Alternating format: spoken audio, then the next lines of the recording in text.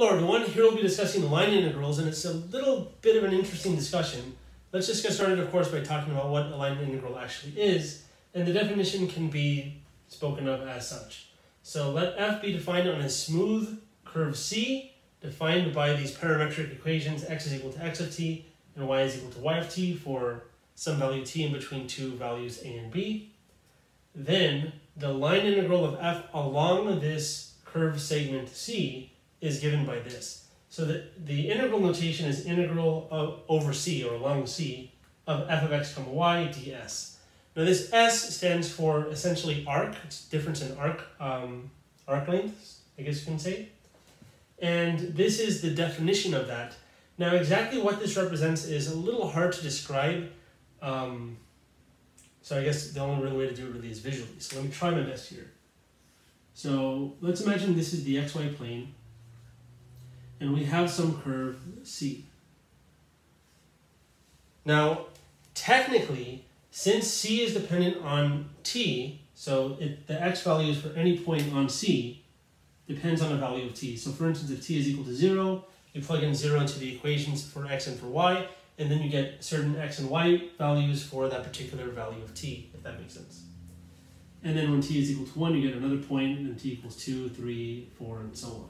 But the point is, as t increases, there's actually a direction here in this so-called parametric curve. So this is basically what C looks like. Now, since C is really only defined between A and B, that's kind of the only region we care about really, this is a curve segment, if you will. It could be that it's a complete loop. Um, it could be, be that it's from negative infinity to infinity actually as well. But usually we'll care about only finite segments. Okay.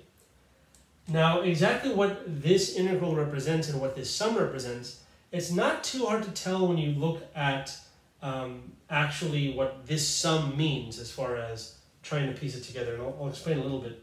But first off, delta Si, I haven't explained what that is. Xi star and Yi star, I haven't either, explained those either, but as it turns out, those are just test values. So if you pick any point in a subinterval, um, in the ith subinterval of the, um, the kind of sections that we're slicing about, then SI, delta SI, is just the difference in those arc lengths. So here, this arc here, that for instance could be described as S1.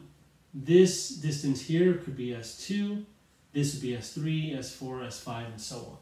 So notice it's not really uh, feasible to make them all the same. So kind of what we saw for uh, integrals up to this point is like delta x, for instance, where there was no subscript on the x because delta x was the, was the same no matter what. But here, delta si, those arc lengths may not all be the same. But that doesn't actually necessarily matter. Um, as, as far as what this integral represents based on this idea is the following. So I'm going to redraw this, but only with the third dimension now. So now we have the z dimension and then x y like usual.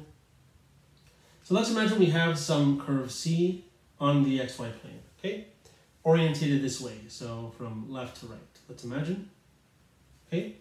And let's imagine that we have a curve f that lies on top. So f of x comma y is actually a, surface that's on top, imagine. Something like that. I know I've intersected over this, but imagine C is below, right? Now, if you project this curve C onto the surface, what you actually end up getting is kind of like this, um, well, the book describes it as like a curtain. And basically what we're doing is finding the area of this segment. Okay, so I hope that's kind of okay to describe. Basically, imagine as uh, you travel on C on F, the actual area of that kind of straight line path, it's this weird like wavy sheet, or I guess curtain is a really nice way of describing it. So that area is actually what this line integral represents. But to be quite honest, we won't really be using this context, but that's just to get this uh, motivated. Now, as it turns out, there's a theorem that basically says that the line integral of f over c, or along c, can actually be written like this, um, essentially due to how we find lengths of an arc of, um, in particular, the arc of c. So it'd just be the integral from a to b of this uh, integral, and the way that the arc length formula is proven, the one I just explained right now with integrals, this can be shown similarly. I'm not going to prove it because it takes a little too much time. But we will actually be using this quite a bit. In fact, we'll see some examples right now where we'll actually find some line integrals, and then after that, we'll look at a really nice consequence from all of this. So let's take a look at those examples right now. Right, so now for this example here, we want to evaluate this line integral along this curve C, which is the upper half unit circle, or upper half of the unit circle, x squared plus y squared is equal to 1. Now, just to get an idea as far as what it looks like, we have this upper half circle like that. Uh, that wasn't actually really good. That maybe look a little better. Something like that. that looks actually not too bad. So notice here, x is going from negative 1 to 1, and uh, the y value goes from 0 to 1. Okay. And, um, hmm. Something that is actually not said in this problem is the orientation. And I don't think the orientation really matters. I mean, we can try to discuss that in a bit. I don't think really it's too big of a concern though. What I want to do first though, notice is that what we saw before is that we needed a variable t. And what t was, was a way of defining this curve. So the curve, we have an equation for that in terms of x and y, but now how can we write them in terms of t? So what t value can track points on this curve? Well now for a circle, sine and cosine actually track points on the unit circle.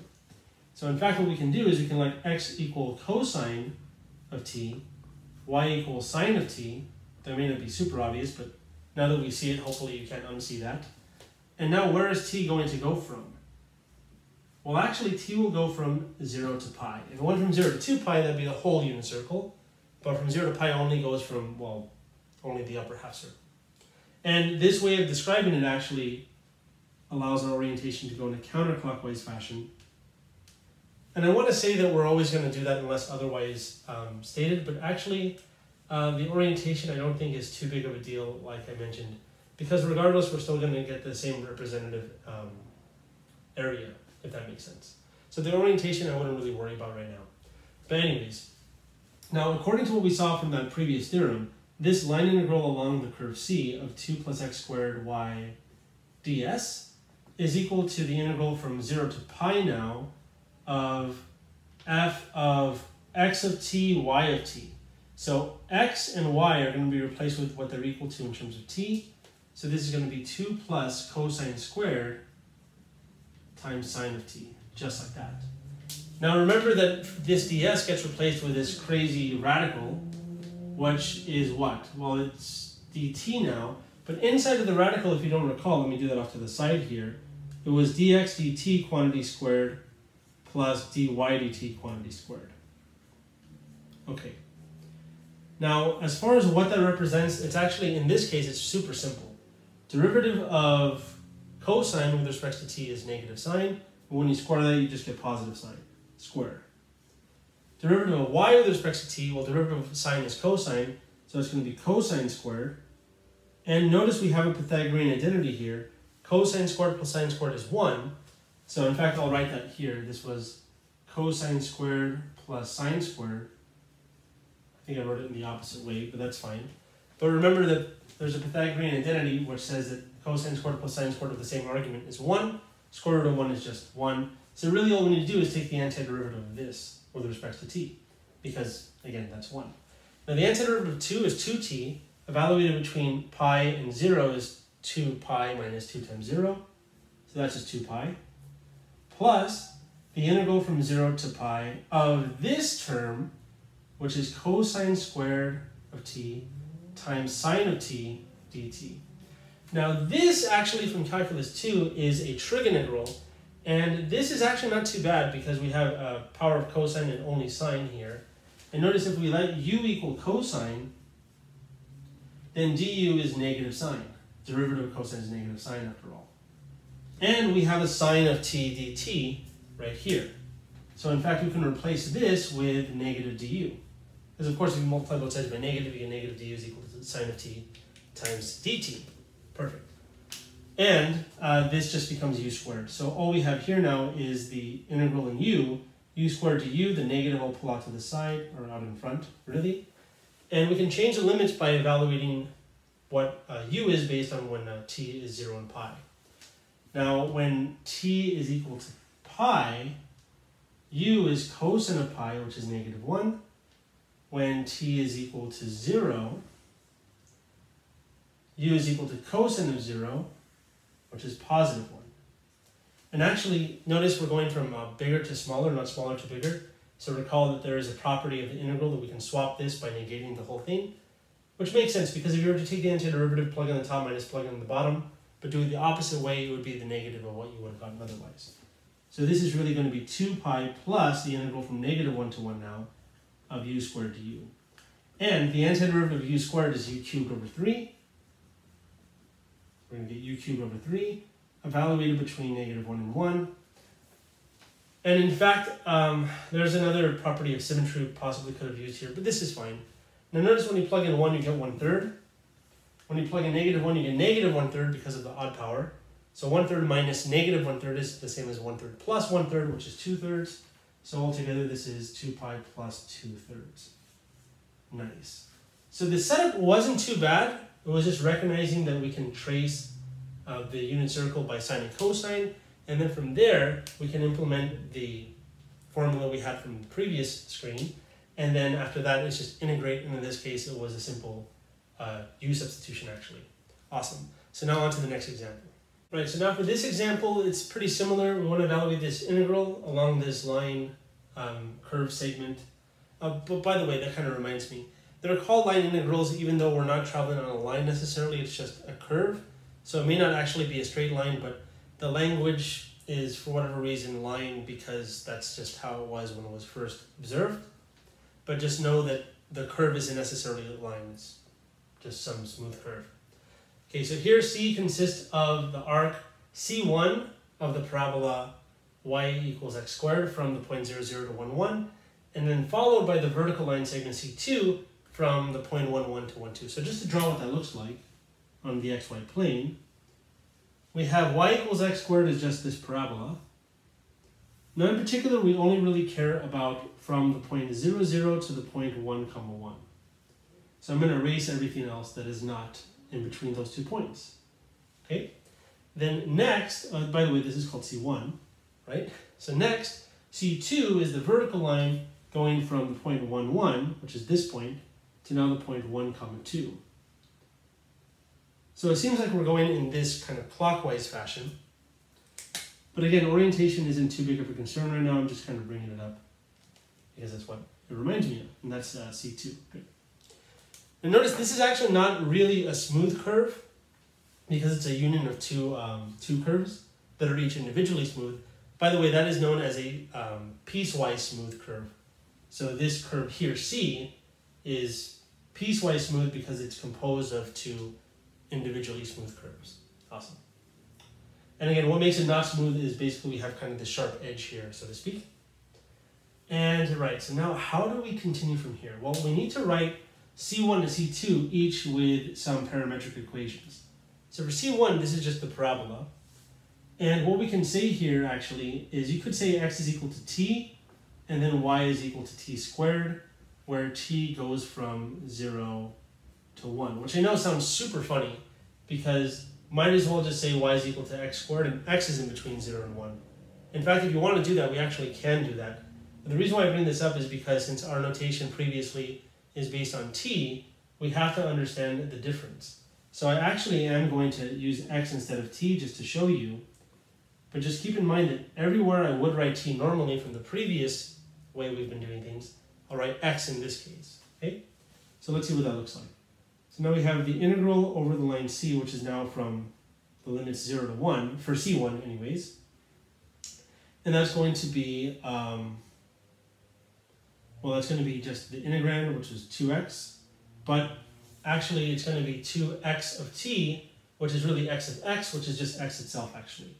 And then ds, recall, is the square root of the derivative of x with respect to t plus derivative of y with respect to t. So now, off to the side, maybe I'll write this. So usually we had dx over dt squared plus dy over dt squared and then dt. All right, cool. But now here, remember, instead of t, we're now using x, just so it's kind of less confusing, even though it looks a little more confusing actually. But it's just something to get used to. It's fine. Notice dx over dx is just 1. And that makes sense even if it was t, because if x is t, dx over dt is the derivative of t, which is still 1. So regardless, this is going to be 1. So I'm going to write just 1 squared, which is 1. And then dy over dx, derivative of y with respect to x is 2x. So this is 2x quantity squared, like that.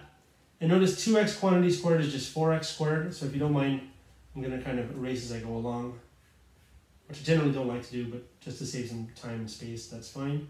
And now dx is now just, well, dt is now dx. So perfect. So now we have this. And this is actually just a simple u substitution. Notice if the inside is equal to u, then the derivative of u that is actually, well, a multiple of this. So we're going to let u equal 1 plus 4x squared, so that du is then 8x dx. And notice to get 2x dx, if you just divide by 4, 1 fourth du is equal to 2x dx. Perfect. So we can replace 2x and dx, each with um, or I guess both with 1 fourth du. The 1 fourth I'll pull outside of the integral because it's a constant multiple. And the radical I'll write as a 1 half power. It's u inside the radical, so this will be u to the 1 half. Good. And now again, the 2x dx is replaced with 1 fourth du. The 1 fourth is already out and the du is there. Now, what are the new limits then? Well, when uh, x is 0, u is just 1 plus 0, which is 1. When u is 1, or when x is 1 rather, sorry, u is 4 times 1 squared plus 1, which is 4 plus 1, which is 5. Awesome. Now what we need to do is take the antiderivative. Antiderivative of u to the 1 half is u to the 3 halves divided by 3 halves. It's 1 fourth u to the 3 halves divided by 3 halves is just multiplying by 2 thirds. Notice there's actually some cross cancellation here. 2 goes into 4 twice, so this is really 1 over 6 u to the 3 halves. And now a value between our new u limits, 5 and 1. So really this is 1 over 6 times the quantity, 5 to the 3 halves minus 1 to the 3 halves. Right. Now 5 to the 3 halves, if you don't know, is just the same as actually 5 radical 5. And then 1 to any power is just 1. So this is really just 1 sixth times 5, times uh, 5 radical 5 minus 1. Um, I mistakenly boxed this because this is just for C1. This is not the integral over C2. Now, since C is composed of C1 and C2, a nice consequence that I actually haven't mentioned earlier, I haven't mentioned, is that the integral of C oh, along C of f ds is actually equal to the integral of C1 along C1 of f ds plus the integral along C2 of f ds. Which should make sense because if you think of just taking the area of that curtain or fence we described earlier Really what you need to do is just go along C1 and then along C2, so you're just adding those areas, so you're adding those integrals then. So this here is just the answer for C1, so instead of boxing it, I'll circle it. Since I don't have space, I'm going to have to erase everything here, and then move on to find the answer for C2, and then uh, once we have that, we'll combine these finally. Okay, so I've erased some things, and I've written here what we had uh, resulted with so far, that the integral along C is the integral along C1 plus integral along C2, because C is of course composed of C1 and C2. The integral over C1 or along C1 we found to be this quantity, and the integral along C2 we'll find right now. But to do that, we need to first figure out how we can describe C2 based on a parametric equation or equations. So let's see, uh, C2 is this vertical line segment that goes from 1 to, well, 1, 1 to 2, 2. Since it's a vertical line segment, then x is actually always going to be 1 in this case because notice the x value doesn't change. So actually x will just be 1. That's fine. And y will actually just be, in this case, y will be changing from 1 to 2. So it's just going to be equal to t, where t goes from 1 to 2. It's that simple. Now, remember what we saw from the previous um, way of doing C1? We wrote x equals x instead of x equals t. So similarly here we can write this as y where y goes from 1 to 2. Good. So now, with that in mind, this integral then over c2 is just the integral from 1 to 2 of 2x, and now ds is replaced with the square root of the sum of the squares of the derivatives of x and y with respect to this variable y. Derivative of 1 with respect to y is 0 squared. Derivative of y with respect to y is 1 squared. Well, the squares come from the actual formulation of the line integral. And then now it's with respect to the variable y. So I hope this isn't too complicated. I'm going a little fast, but you know, hope you can keep up with that. Now, uh, this is 1, so we don't really care about this. And x, what is x? Well, x is actually 1 itself. So notice it was 2x because that was our original integrand, but with this in mind, x is equal to 1. So now this really is just the integral from 1 to 2 of 2 dy. And the antiderivative of 2 with respect to y is 2y.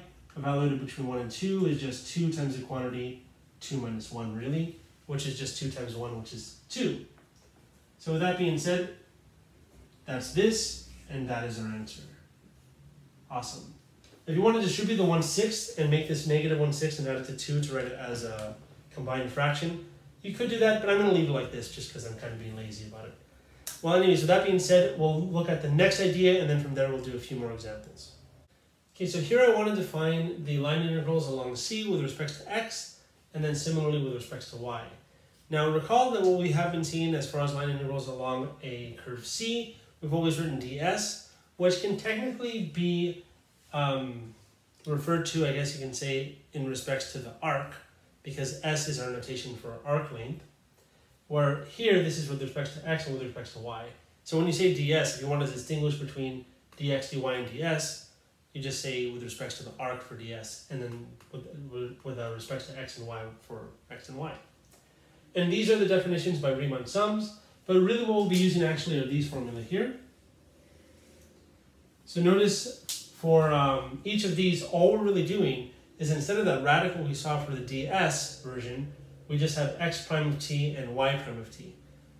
Which actually makes a lot of sense if you think about it, because that radical that we saw, which just to remind you, that was the square root of dx dt squared plus dy dt squared. Now if we're taking derivative with respect to x only, then derivative of y with respect to t would be 0 because y would be a constant in terms of the variable x. Um, in other words, this goes to 0, and this really is x prime of t if x is a function of t. So x prime of t squared square rooted is just x prime of t squared, and similarly for y prime of t squared. So th these are consequences of the way we would write it with this radical. And by the way, I may not have mentioned this previously, but that radical expression, the, that expression of line integrals with that radical in mind, are really only true when f is continuous, which is usually the case anyway, so I may not have mentioned that little detail. But in any event, in any event, let's uh, move on. So here there's a kind of keynote. If p and q are functions of x and y, then the integral along c of p dx and the integral along c of q dy added together can be written like this. Integral along c of p dx plus q dy. This is a little bit of abusive notation, but, um, well, not really. But this is kind of customary to write it like this. And we'll actually see an example right now. We'll take a look at something like this. And then beyond that, we'll need to look at one last idea for this video and then one example for that next idea. So let's take a look at an example involving this right now. Right, so for this example, we want to evaluate the line integral along the curve C of y squared dx plus x dy, kind of like the notation we saw previously, where C is described as such. So we have it uh, broken up into two, um, two curves, kind of like we saw in the previous example. C1 is just the straight line going from negative 5, negative 3 to the point 0, 2 where C2 is this parabola, x equals 4 minus y squared, but orientated in this way. So notice we actually have a particular orientation, which I mentioned before, may actually have made a difference. As it turns out, with uh, respect to arcs, it doesn't make a difference, but with respect to x and y, it actually does. So let's see if we can get something cooking as far as these uh, parametric equations go for C1 and C2. Now for C1, there are actually quite a few different ways of doing this. One way you could actually do this is you could just let x equal x and let y equal whatever the line is that goes from here to here. Now, if you actually count things, you need to go over 5 to get to this line and up 5 to get to um, from this point to this point. In other words, the slope is 1 over 1. So really this is 1x plus the y-intercept 2, just from what I know from, well, slope-intercept form from lines. And this actually works. Another way of doing it though is to consider what we saw with lines in three dimensions for with um, with vector equations, And I kind of want to do that, but it'll take a little bit too much time. I mean, it's not too bad because it's in two dimensions. Basically, what you do is you treat these as vectors, subtract them, and then you get the direction vector. So, for instance, if I were to do, uh, let's say, this minus that as a vector, so 0, 2 minus negative 5, negative 3, ends up giving me 0 minus negative 5 is positive 5, and uh, 2 minus negative 3 is positive 5 as well. So this is the vector, direction vector, v, which is 5 comma 5. Okay.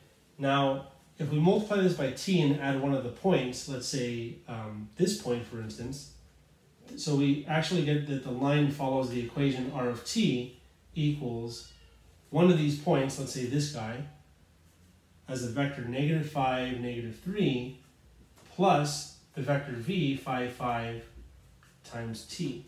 And you can see when t is equal to 0, for instance, you get this point itself, which here it's written as a vector, but imagine it's a point. And if you were to plug in t equals 1, then you get negative 5 plus 5, which is 0 for the x value, and uh, negative 3 plus 5, which is 2 for the y value. So actually, if t only goes between um, 0 and 1, then this vector equation works. And if you were to actually combine these into one vector in component form, you get negative 5 plus 5t, that's going to be x, and negative 3 plus 5t, and that indeed is going to be y. So we actually have parametric equations for y and, and x, and we have uh, our values of t in this case. Here, this would be different because x would go from negative 5 to 0. So I know I'm kind of showing you different ways, but this way I think is kind of more uh, systematic because it works in three dimensions as well, and it, I think more uh, general, I guess you can say. But I'm going to try it this way and let's see if we get something similar. Well, here I haven't even finished it, but you know what I mean. So with that being said, I'm just going to try it this way. But you can try it that way and um, see if you get the same answer. You should. So now let's see. So for C1, we're going to, let's see, so the integral over C1 of y squared dx plus x dy uses these parametric equations. So every, everywhere I see an x, I write x. Notice dx is the derivative of x with respect to, well, x. So in this case, actually it's just going to be y squared dx. I'm trying to think how that works. Yeah, well, that's fine. So, um, so what is y squared? Well, y squared is x plus 2 quantity squared, like this, dx, plus x times dy. That's what I was looking for. So dy is what? dy is derivative of y with respect to x. So notice derivative of this is going to be 1 and then times dx. So dy is replaced with 1 dx. So notice you have this dx plus that dx. They both have a dx in common. So in reality, this is just the integral of x plus 2 plus x dx like that, if that makes sense. Uh, I forgot a square here. So there we go, that looks a little better. In fact, what I really should do here is actually combine my terms and expand this out in the process. So let me just do that real quick. Now if you expand uh, x plus 2 quantity squared, you get x squared plus 4x plus 4.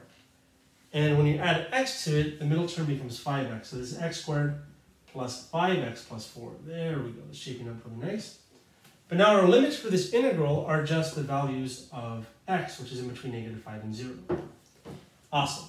So now antiderivative of this is just x cubed over 3 plus 5x squared over 2, or 5 over 2x squared, plus 4x. Evaluate between negative 5 and 0.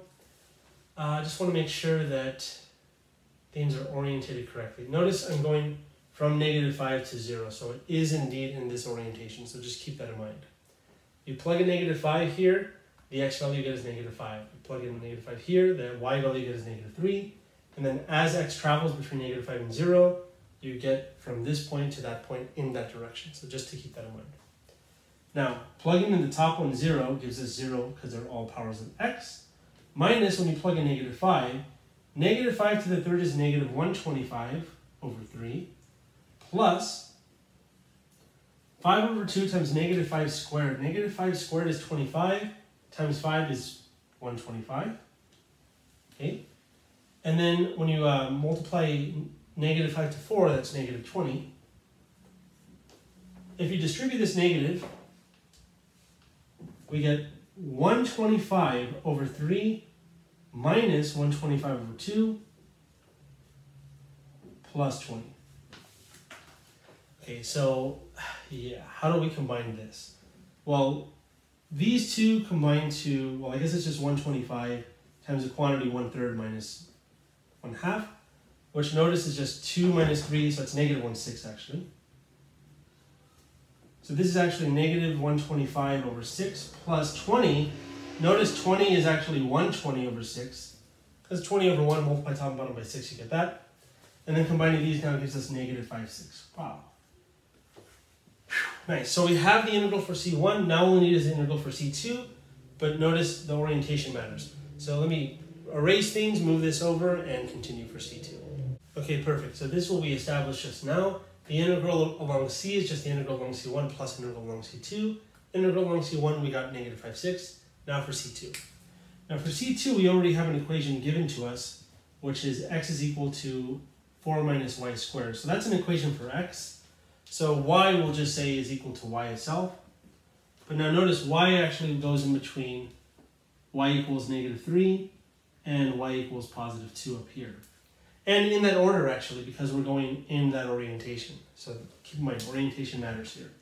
So y is going to go from negative 3 to 2, just like that. So again, if you were to plug in negative 3 in for y, you get y is equal, well, x is equal to 4 minus negative 3 squared, which is minus 9. 4 minus 9 is indeed negative 5. So we get this point first. When you plug in 2, you get this endpoint, you'll see. You try that on your own. Um, in fact, it's really easy. 4 minus 2 squared is 4 minus 4, which is 0, so you get 0 comma 2 indeed. Great. Awesome. So now that we have that established, all we need to do now is say that the integral along C2 of y squared dx plus x dy is equal to, y is equal to y, so that's going to be integral of y squared. dx is derivative of this, Derivative of this with respect to y is, well, 4 goes to 0, negative 2y squared has derivative, or negative y squared has derivative of negative 2y dy. Good. Plus x, again, is equal to 4 minus y squared, and then that's dy. Now again, they both have dy in common. Also, the limits are known. They're just those bounds, negative 3 to 2, like this. Let me scoot this over. So integral from negative 3 to 2 of that's negative 2y cubed plus 4 minus y squared, and that's all multiplied to dy. Each of those are multiplied to dy. They have dy in common. Perfect. So now what we need to do is take the antiderivative and evaluate. Antiderivative of negative 2y to the third is negative 2 over 4y to the fourth. Notice negative 2 over 4 actually is negative 1 half after reducing, so that'll simplify things a bit. Antiderivative of 4 with respect to y is 4y. Antiderivative of negative y to the second is negative one third y to the third. And now evaluate between the y values negative 3 and 2. When you plug in 2, here 2 to the fourth is 16 over 2 is 8. So it's going to be negative 8. When you plug in 2 here, you get positive 8, so those actually cancel out. That's nice. When you plug in 2 here, 2 to the third is 8, so that's going to be negative, um, just making sure, negative 8 thirds, good minus, when you plug in negative 3, negative 3 to the fourth is actually going to be 81, positive 81, so it's negative 81 over 2. Okay, when you plug in 3 here, or negative 3 here, you get negative 12. When you plug in 3 here, or negative 3, you get negative 3 to the third is negative 27. Double negative is positive, but then 27 over 3 is 9, so it's just this. And notice these actually combine to negative 3. And then after distributing the negative here, we end up getting negative 8 over 3 plus 81 over 2 and then plus 3. All right. And whew, now what? Well, now we can combine these. Let me do that off to the side here. So 81 over 2 minus 8 over 3 is actually, you can kind of do this crisscross pattern. 3 times 81 is 243. Minus 2 times 8 is 16. 43 minus 16, I think, is 20, looks like 27, so it's 227. Just making sure, okay, all over 6. And that can't be reduced, actually. And then we're adding 3 to that. 3 is 18 over 6, so we're just going to add 18 to this. Um, so let me write that out. So this here is 227 over, no, getting kind of complicated with this. We get 227 over 6, it kind of cut out. Let me actually emphasize that on top. Sorry about that. So there we go, that's 227 over 6. This is really 18 over 6. And when you combine those, 18 plus 227 is actually 245 over 6. And that's good because notice that's what we need here. 245 over 6 minus 5 over 6 is actually just 240 over 6. And 240 over 6, notice it's just 40 itself. Nice, so that was the integral over c, the line integral along the curve c of y squared dx plus x dy. Now we need to take a look at one last uh, new idea and then an example based on that, and that'll be it for the video finally. All right, so now the last idea we want to take a look at is essentially this definition which actually ties vector fields that we saw in the previous video into the mix now. So let f be a continuous vector field defined on a smooth curve C given by the vector function r of t where t goes between two values a and b. Then we say that the line integral of f along the curve C is this. Integral along C of f dot product with dr. Notice these are vectors here, vector function r of t. And that's actually, believe it or not, equal to the integral from a to b of f of r of t dotted with r prime of t dt, which is also, you can also write it this way, as the integral along c of f dot t ds. So this is kind of the usual uh, um, line integral with respect to a arc length. Here, though, t has to be uh, the unit tangent vector at a point on C. Really what that means is that t of t, you can say, is equal to r of t, or I guess r prime of t, because think of tangent line, but divided by its magnitude. Of course, divided by its magnitude because, well, um, well, it's the uh, unit tangent vector. Okay.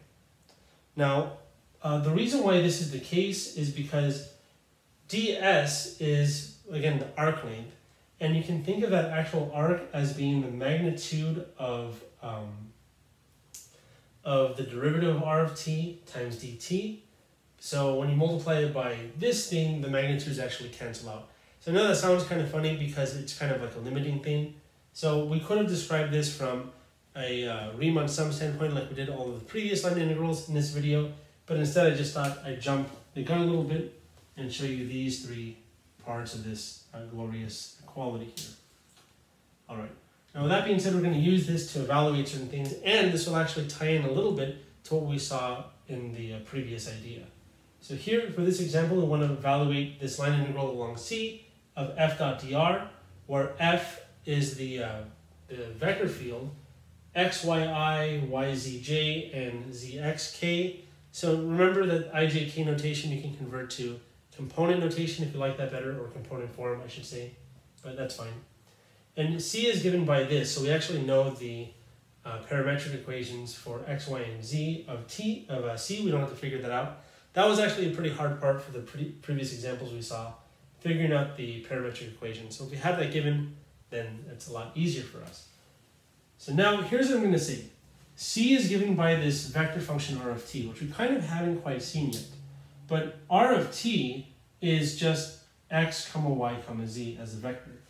So we can actually say r of t in this case is actually equal to the vector t t squared t cubed. Where of course t goes in between 0 and 1. Similarly, we can say f of t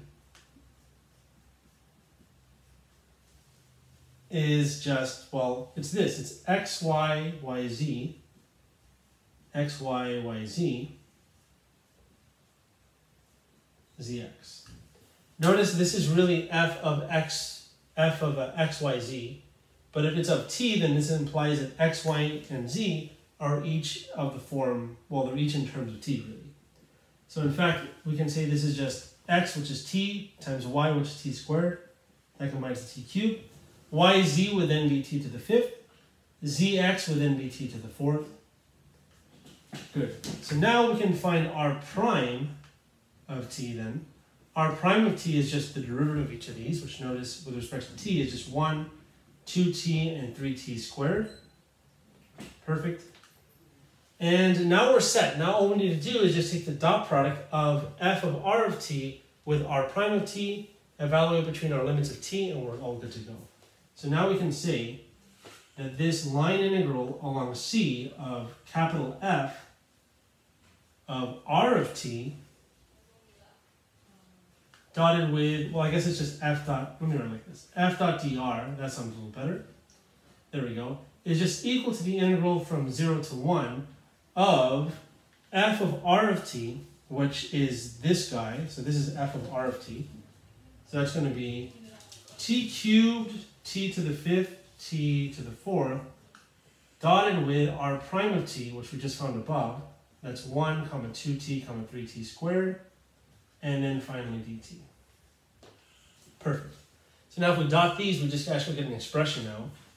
And what do we get? Integral from 0 to 1 of t cubed times 1 plus t to the fifth times 2t, so 2t to the sixth, okay, plus t to the fourth times 3t squared, which is 3t to the sixth, and all of that dt. Awesome. All right, so now all we need to do is take the antiderivative and evaluate. Um, there are a few things I want to say in addition to that. I mean, we could kind of squeeze it in here, but you know, just so I kind of take a little more time with it. I'm going to erase everything, lift this up, and then continue. Right, so here's where we left off. Notice that I erased things, lifted it up. Actually, something I didn't recognize until I rewrote it here is that these actually combine to 5t to the 6th. So this is really the integral from 0 to 1 of t cubed plus 5t to the sixth dt. Now this is pretty simple and standard to take the antiderivative of. Let's see if we do it. Antiderivative of t to the third is t to the fourth over 4 plus 5 over 7 t to the seventh, that's the antiderivative of 5t to the sixth, notice. Evaluating between 0 and 1, when you plug in 0, the powers of t, so they're just 0. When you plug in 1, though, you just really get just the coefficients. So this is uh, literally just 1 to the 4, 1 over 4 plus 5 over 7, which remember to do that kind of crisscross trick to add, or I guess shortcut really, to add fractions. This is 7 times 1 plus 5 times 4, which is 27, over 4 times 7, which is 28, which doesn't reduce. So that's actually the answer. Now, there are a few things I like to say before finishing the video. And I'm not going to do any other examples or anything. I'm just going to talk a little bit and maybe uh, come to some nice conclusion. So first off, everything we've seen up to this point in this video was only over two variables. This is over three variables technically because we have an x, y, and a z component. Now we could have spoken about line integrals in, uh, in three-dimensional space where our function is not of f, not just f of x of y, but f of x, y, and z, or yeah, not f of x comma y, but f of x comma y comma z. And then with that being said, the curve C would be a three-dimensional curve in the xyz uh, space, if that makes sense.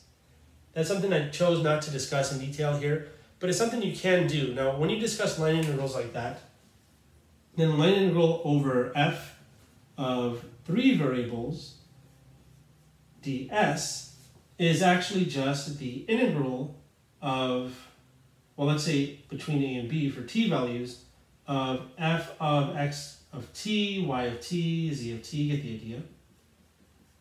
But now the moment you're waiting for this radical part now, how do you handle that with 3? It's literally just the squares of each of those with respect to t, derivative with respect to t. So that's dx dt, dy dt, and dz dt there. So just to show you that because that's something you may possibly come across but I chose not to go any, over any examples. I just think it's, it's a little too much, but the idea is honestly exactly the same. Okay. Another thing is uh, there's a connection here between what we saw with those um, those integrals that look something like this, p dx plus uh, q dy. And speaking of which, uh, something this reminds me of is let's say you take the integral over c of f ds, and you want to compare what if it was the other way around, orientated differently.